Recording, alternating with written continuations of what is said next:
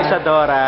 Yes. After a long time, ilang years bago ulit kayo nakagawa ng pelikula? Ito. Ah, about 18 years.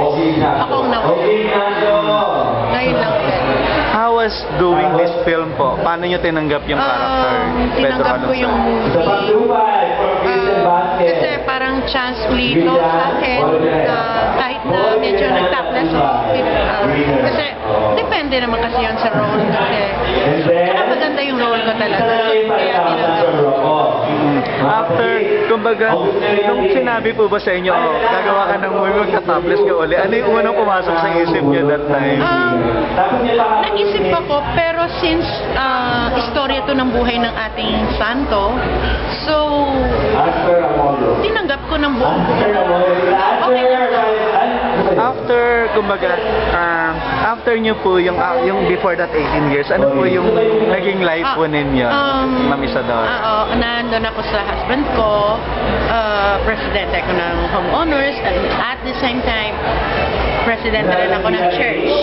So, nabuhay ako for 10 years na, na, na, in a way, in a, in a way na naglilingkod ako sa Diyos, ah, sa simbahan, naglilinis ako ng simbahan, nag-aayos ako ng mga, I mean, ng mga problema sa community. Yun, yun ang naging buhay ko. Tapos, ah, tumaba ako, sobrang taba. But then, ah, siguro talagang, ito yung alam kong trabaho eh. Kaya.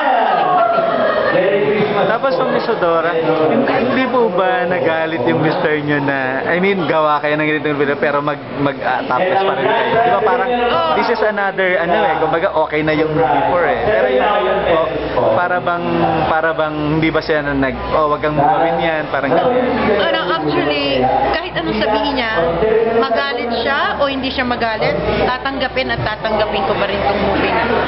I don't care. Okay lang sa akin. Magalit siya. Pero pinaalam niya naman po. Um, hindi ko na pinaalam kasi bakit papaalam ko ba sa kanya? No, actually, medyo single na ako ngayon, joke. Oo, yun, single na ako. Ah, okay. Tapos ilan na po yung anak Isadora? Hindi ako nagkaanak. Oh. Wala. Ngayon po, parang nakikita nyo, anong difference nung movie ngayon, 18 years ago, sa inyo nung, nung time? Uh, there, there's a big difference because um, before kasi mainstream, right?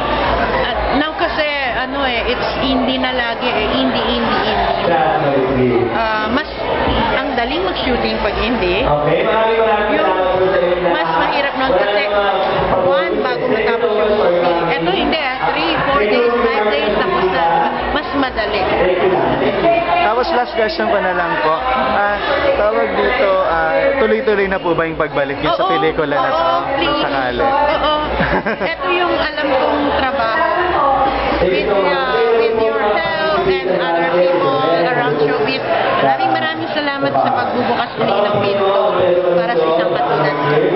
Maraming salamat. Thank you, Ma'am Isadora.